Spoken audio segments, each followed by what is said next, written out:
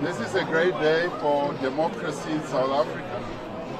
It's a wonderful day as well, bright and sunny. And I've heard that uh, voting has started throughout the country and uh, it is going well.